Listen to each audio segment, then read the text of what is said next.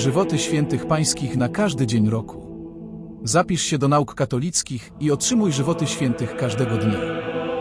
Link do zapisu w opisie filmu. 8 lipca. Żywot świętej Elżbiety, królowej portugalskiej. Żyła około roku pańskiego 1336. Niewiasta ta była od pierwszej do ostatniej chwili żywota aniołem pokoju i pojednania. Jej przyjście na świat w roku 1271 załatwiło spór między jej ojcem Piotrem III, następcą tronu portugalskiego, a dziadem Jakubem I, królem Aragonii. Jakub sprowadził urodziwą dziewicę na swój dwór i dał jej staranne wychowanie.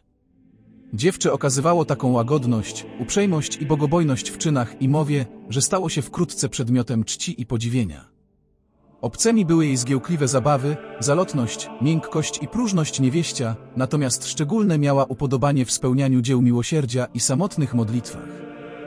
Licząc lat 12, poszła za mąż za króla portugalskiego Dionizego. Była mu wierną małżonką, a Bogu posłuszną sługą. Wśród blasku i przepychu dworskiego nie wyrzekła się nigdy pokory, pobożności i miłości bliźniego. Zajęcia jej dzienne w ten sposób były urządzone, wstawała rano o rychłej godzinie, szła na nabożeństwo, potem odwiedzała chorych, pocieszała strapionych. Zaradzała według możności potrzebom zubożałych rodzin, wstydzących się żebrać, wyposażała biedne dziewczęta, starała się o poprawę podupadłych dziewic, wychowanie podrzutków i należytą wspaniałość nabożeństwa po wsiach i miastach. Dla siebie była oszczędną, Pościła często i nigdy wina nie pijała, gdy pewnego razu lekarz jej takowe zapisał, a chora nie chciała uczynionego ślubu złamać. Pan Bóg uczynił cud i zamienił wodę, którą piła, na wino. Tem szczodrobliwszą była względem ubogich, którym nie szczędziła wsparć i datków. Pewnego dnia, gdy niosła resztki potraw podupadłej rodzinie, król zapytał, co niesie w fartuchu. Z obawy, aby król nie zganił czynu tak mało odpowiedniego jej królewskiemu dostojeństwu, odpowiedziała zmieszana, róże. Z uśmiechem odwinąwszy fartuch, przekonał się monarcha, że rzeczywiście miała wonne róże. Przez lat kilka żyło dostojne małżeństwo w pokoju i zgodzie, ubóstwiane przez poddanych. Ale probierczym kamieniem cnoty jest ogień pokusy, doświadczeń i utrapień. Skoro Elżbieta obdarzyła króla kilkorgiem potomstwa, nie poprzestał na miłości małżonki i zaczął jej się przeniewierzać. Elżbieta znosiła krzywdy z anielską cierpliwością. W ukryciu przed światem żaliła się przed Stwórcą, płacząc łzami krwawymi. Małżonkowi jednakże nie czyniła wyrzutów, okazując mu zawsze miłość i szacunek, owszem czyniła, co tylko święta niewiasta czynić może, i starała się o pobożne wychowanie nieślubnych dzieci męża. Poznał się też król, nie za długo na wielkoduszności małżonki. Miała Elżbieta Pazia, który był jej prawą ręką w spełnianiu dobrodziejstw i który dlatego cieszył się jej łaską. Pewien dworzanin pozazdrościł chłopcu względów królowej i oczernił młodzieńca przed monarchą, powiadając, że Elżbieta żyje z nim na stopie zbyt poufałej. Niewierny mąż uwierzył pochopnie w niewierność żony i nie posiadał się z zazdrości.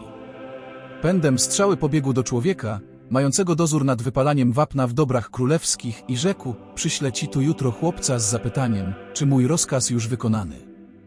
Gdy nadejdzie, weź go natychmiast i wrzuć w czeluście pieca, paląc go tym sposobem na proch, aby go oczy moje więcej nie oglądały. Jakoż nazajutrz wysłał chłopca do wapniarni. Paś idąc na wskazane miejsce, przechodził koło kościoła w chwili, gdy dzwoniono na mszę świętą. Nie namyślając się przeto, wstąpił do wnętrza, będąc przekonanym, że wysłuchanie nabożeństwa każdemu na dobre wyjdzie i za zwłokę nie może być poczytanym. Zatopiwszy się zaś w modlitwie, nie spostrzegł nawet, że aż trzech mszy świętych wysłuchał. Król dyszący chęcią zemsty i ciekawy, czy rozkaz jego spełniono, wysłał niezadługo wzwyż wspomnianego dworzanina z zapytaniem, czy wykonano wczorajsze polecenie. Dozorca natychmiast wrzucił go w gorejące płomienie, a wkrótce potem paś wrócił z wiadomością, że rozkazowi królewskiemu zadosyć się stało. Widoczny sąd Boży przeraził króla, miłość królowej wzruszyła go do żywego i odtąd zaniechał pokątnych miłostek. Ale jeszcze święta niewiasta nie spełniła do dna kielicha goryczy. Jej syn, Alfons, ożeniony z księżniczką kastylską, zapałał nieubłaganą nienawiścią przeciw nieślubnemu synowi swego ojca, Alfonsowi Sanchez, ulubieńcowi monarchy. Obiegały nawet wieści, że Dionizy chce go mianować swym następcą. Niesnaski stąd powstałe ogarnęły całą Portugalię, Alfons zgromadził zbrojne zastępy, aby bronić swych praw spadkowych, Elżbieta zaś starała się wszelkimi siłami zapobiec rozlewowi krwi. Mniemając, że królowa ujmuje się za synem, skazał żonę na wygnanie, skargi jednakowoż ludu na tę niczem nieusprawiedliwioną srogość znagliły go do przywołania wygnanej. Tymczasem starcie zdawało się nieuniknionem i król ruszył przeciw zbuntowanemu synowi, już miały zbrojne zastępy uderzyć na siebie, wtem Elżbieta stanęła na placu boju, biegała wśród łez i płaczu od ojca do syna, zwalczając wymową czułej małżonki srogość męża, siłą czułej matki upór syna i zwyciężyła. Dobyte miecze wróciły do pochew, uciszył się gwar wojenny. Przygnębiony wiekiem i strapieniami król zachorował. Elżbieta nie odstępowała na krok łoża jego, krzepiła ciało chorego lekami, a duszę niebiańską pociechą i modłami. Wdzięczny za jej troskliwość i poświęcenie zgasł Dionizy pełen żalu i skruchy w jej objęciach w roku 1325. Owdowiała monarchini rozdała swe królewskie klejnoty, przywdziała habit klaryski i zamieszkała w skromnym domeczku położonym tuż przy klasztorze przez siebie założonym, trawiąc czas na modlitwie i świadczonych bliźnim dobrodziejstwach. Ostatnim jej dziełem był zawarty za jej przyczyną pokój pomiędzy jej synem, królem portugalskim, a wnukiem, królem kastylskim, którzy się sposobili do krwawej z sobą rozprawy. Wszystkie te wysilenia owej świętej samotnicy przyprawiły ją w końcu o zgon przedwczesny, który nastąpił w dniu 4 lipca roku 1336. Gdy po trzystu leciech otworzono jej grobowiec, z ciała nieskażonego zalatywała przytomnych dziwna woń i zapach. Papież Urban VIII wyznaczył na jej pamiątkę dzień 8 lipca. Nauka moralna. Błogosławieni pokój czyniący, albowiem nazwani będą synami bożymi. Ewangelia świętego Mateusza rozdział 5 wers 9. Pokój jest najwyższym szczęściem, gdyż nie ma szczęścia bez pokoju.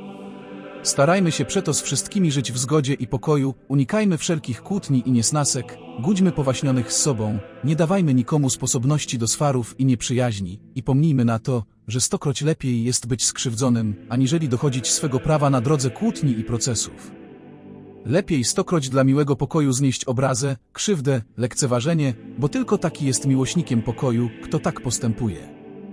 Święta Elżbieta znosiła spokojnie podejrzenia, prześladowanie i dokuczliwości męża, pomnąc na słowa Zbawiciela, jeśli cię kto uderzy w prawy policzek twój, nastaw mu i drugiego, a temu, który się chce z tobą prawem rozpierać, a suknię twoją wziąć, puść mu i płaszcz. Ewangelia świętego Mateusza rozdział 5 wers 39 i 40. Usiłujmy nade wszystko przeszkodzić swarom i nieporozumieniom między krewnymi i znajomymi, pomnij na słowa Pawła Świętego, zwrócone do Tytusa, napominaj ich, aby nikogo nie czernili, aby nie byli kłótliwymi, lecz skromnymi i aby okazywali łagodność względem każdego. Święta Elżbieta, jakkolwiek słaba niewiasta, nie wahała się pójść między zbrojne szeregi i zdołała zmiękczyć łzami i prośbą kamienne serca. Iluż przez to ocaliła ludzi, jakim zapobiegła czynom okrucieństwa, ile sobie tem zaskarbiła wdzięczności i błogosławieństw. Jezus Chrystus, który przez ofiarę życia pozyskał nazwę Księcia Pokoju, wspierać Cię będzie w Twych przedsięwzięciach, działaj przeto w Jego duchu, On Ciebie nie odstąpi. Nagroda Twoja wielką będzie i słusznie nazywać Cię będą sługą Bożym. Modlitwa Najlitościwszy Boże, któryś świętą Elżbietę pomiędzy wielu innymi wysokimi łaskami, przyozdobił także darem poskramiania wojen, spraw to miłościwie, abyśmy za jej pośrednictwem zażywali za życia pokoju, o który pokornie prosimy, a po nim dostąpili radości wiekuistych. Amen. Subskrybuj nauki katolickie i otrzymuj powiadomienia. Zapisz się do nauk katolickich i otrzymuj żywoty świętych każdego dnia. Link do zapisu w opisie filmu.